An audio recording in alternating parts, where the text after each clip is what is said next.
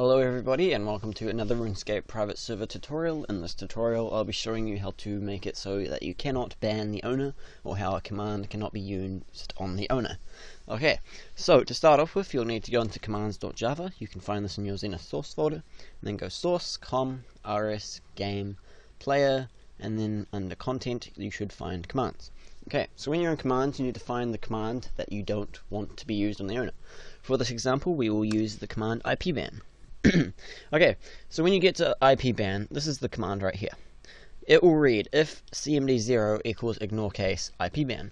So that pretty much means if the first word equals ignoring the case ipban, then it will do whatever is in between these brackets. Okay, so to start off with, you'll need to go to the very top, just after the bracket where it starts. Remember, each open bracket has a closed bracket, and that's what holds in the code. So add a few enters and just return it a bit. And then if you want to do it easy way, just grab this bit right here, control copy, and then just paste it down there. But then change the 0 to a 1.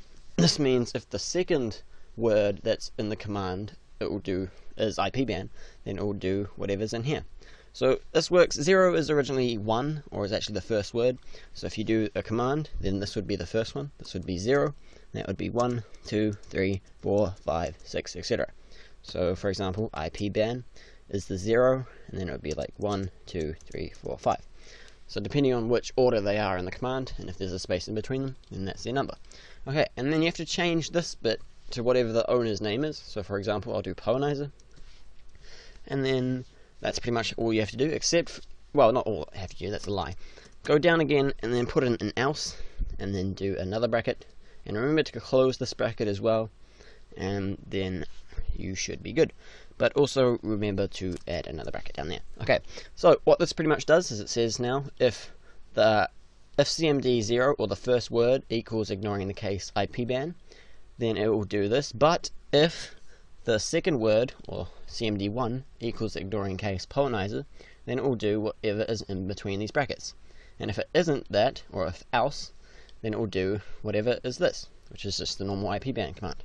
So for example, you could just type in here whatever you want. You could just what do this, uh, just be like player.getPackets. Uh, I don't really remember this code correctly. Um, dot send game message. I think that's correct. And then you just be like, you cannot ban me. And then close it, and that should work. I don't think that's I don't think that's the correct code, uh, but Oh yeah, it is. It's right there. So just use that code. And if you do that, then it will send the message to whoever's trying to do it. And it should not ban you. If that makes sense. So if it doesn't make sense, I'll just go through it one more time.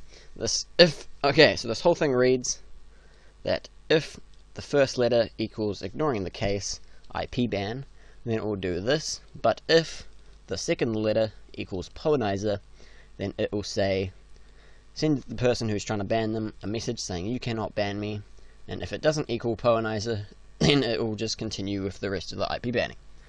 So, hopefully that helped you, and I'll show you what it looks like in game.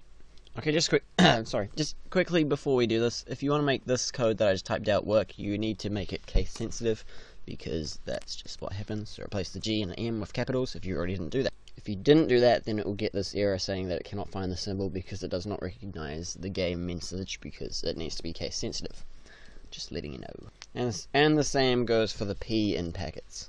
Okay, so to make it shown in game, if you go dot dot IP ban, and then remember we put in the poanizer as the owner, we'll send you cannot ban me.